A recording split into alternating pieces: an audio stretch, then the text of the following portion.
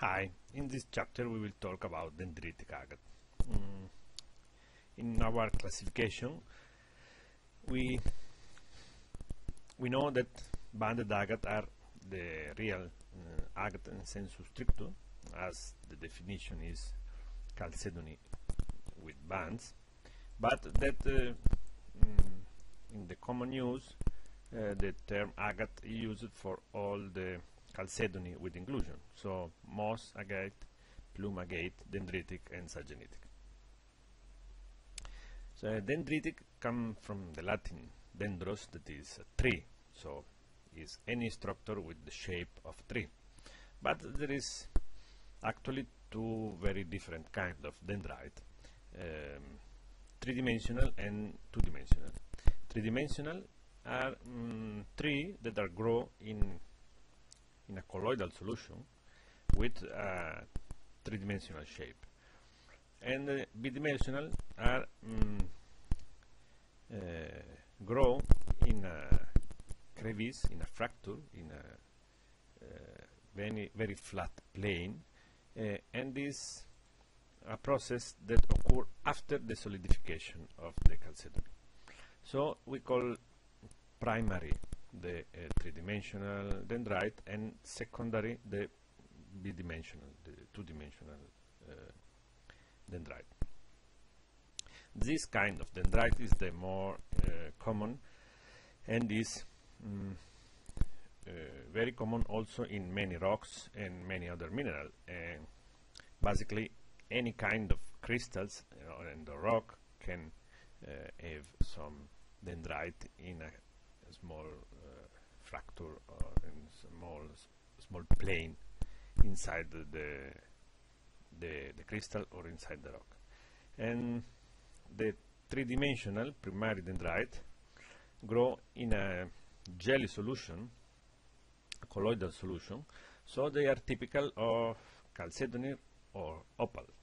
Uh, there is not other mineral that are mm, not crystallized, amorphous, like mm, this uh, microcrystalline silica, and for that reason uh, the, the grow is floating in a colloidal solution. The composition of the dendrite is manganese, generically manganese, and we call uh, the, the mineral sal psilomelane, psilomelane. And this is a mineral that is a group of mineral, it's not a, a, a single mineral, and all are oxide, more or less hydrate of manganese. So this is some of the name I found of the composition of the psilomelane. Mm, very strange name, difficult to pronounce it, but uh, basically we will never mm, be able to distinguish inside the manganese dendrite. So we will call this uh, psilomelane or more simply manganese dendrite. Uh, this is um, the typical dendrite, uh, the secondary dendrite that are common in many rocks. Uh, this is the dendrite in uh, limestone, very famous from Solnhofen quarry in Germany, and is uh, the dendrite are grow along bedding plane. So the stratification of the limestone is horizontal, uh, is famous for it. Fossil fish and crabs, and many uh, animals, but in the same plane we uh, we can find the manganese dendrite. Also very famous are dendrite uh, developed in the cracks inside quartz crystals. This is typical from Brazil, very used for produce gemstone, very nice gemstone. This is a little bit more rare stuff, uh, also from Brazil, is a dendrite grow inside a calcite crystal. And the, the dendrite are grow in cleavage plane of the calcite. So it's parallel to a face of the, of the crystal, but inside the crystal. So all these dendrite are uh, secondary in, in the sense that are grow after the solidification of the limestone, of the quartz or the calcite. But secondary dendrite can occur also in agate. Mm, and usually uh, they grow between the the bands so each band is separated by the other by a very thin joint and uh, in this joint uh, psilomelane manganese can enter after the solidification of chalcedony and um, make a tree uh, of dendrite so uh, the banding can be horizontal flat banding or or concentric banding.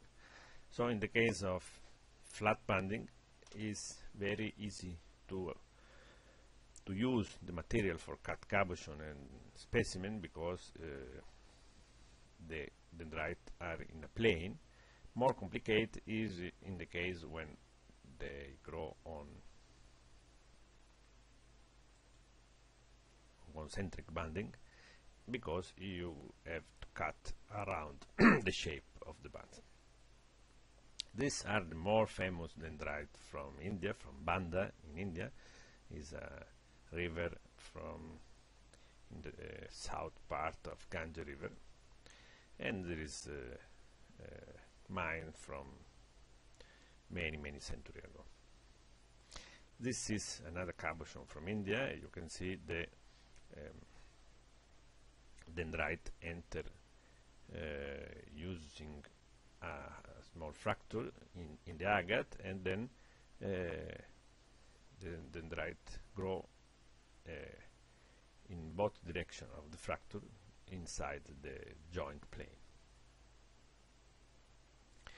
This also um, other cabochon from the same location and they are very popular. Uh, the variety were very tiny dendrite are all together or where two color with some iron oxide give the impression of more uh, pictoric uh, uh landscape. And are uh, other two specimens. You can see the dendrite uh, usually enter from the outside and mm, grow inside the bedding plane of the flat horizontal agate and this kind of uh, dendrite is more expensive and more rare because um, each uh, stone is only one piece. So if you find one dendrite you can have one piece one specimen. You have to cut around it polish it and you cannot have uh, a, a, second uh, similar uh, specimen. At the contrary, for three-dimensional dendrite, if you find uh, a nice tree, you can slice it and produce many, many cabochon of uh, very similar, similar pattern.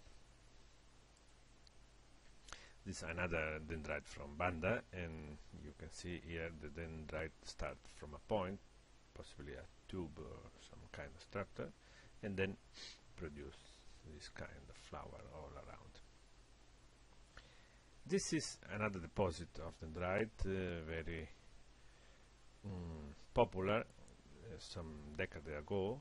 It's from Brazil, but in this case the uh, dendrite grow along along joint between concentric bands. You you see here the the shape of the plane is a little bit more complex so in this case cutting uh, the, the, stones is quite complicated and it must to make free form with uh, strange ondulation. So it's not so easy to use in jewelry. Also this is another dendrite from Brazil. This is uh, quite flat specimen but just because the nodules are sometimes very big if usually the deposit of dendrite are small one here few famous from United States this is from Copco Northern California and this nidendrite, but it's small stones.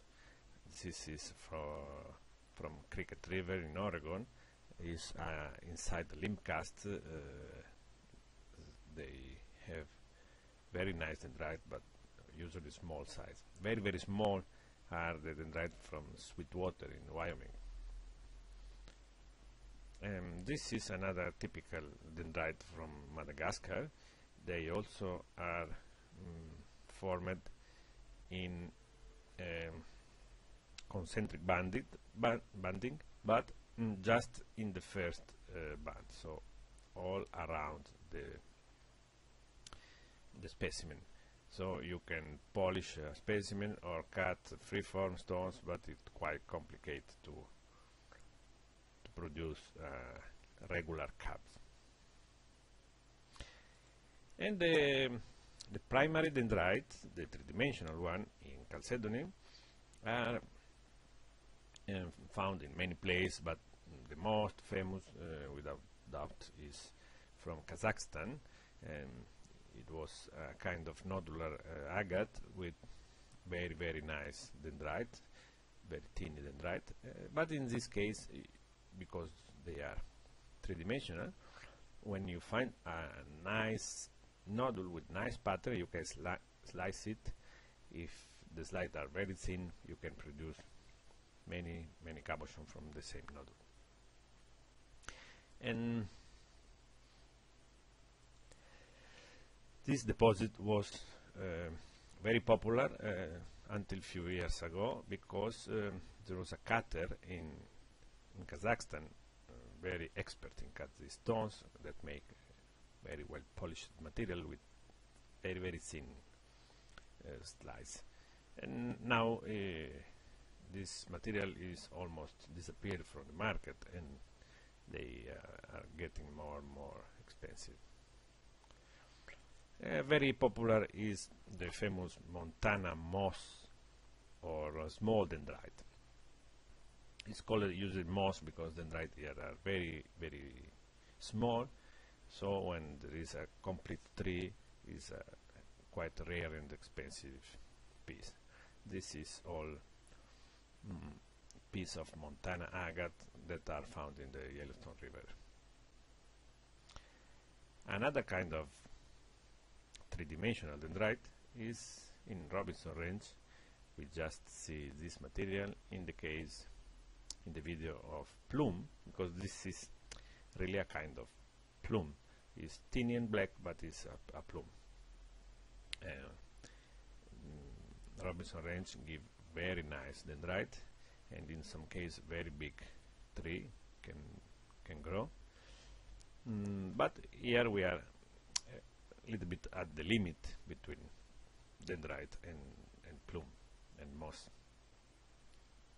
And also is important to remember a couple of material very nice for his tree and for his landscape pattern but they are more jasper than mm,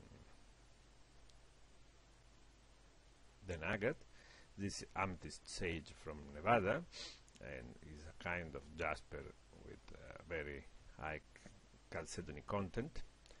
And this is another material this Paiute agate from Oregon with very nice color but also this is a kind of jasper with uh, a kind of um, recrystallization of, uh, of chalcedony and this an another mm, dendrite from Arizona three-dimensional dendrite so we can have three-dimensional dendrite more or, or, or, mm, both in agate and in jasper and uh, in, in agate is a normal process uh, of the family of moss and plume, so just a different shape. And in jasper is um, a, point that indicates that the jasper have suffered a kind of um, transformation in chalcedony. So there is a phase in which uh, the jasper is becoming soft again is again mm, a colloid and in this state uh, the dendrite can grow inside the material.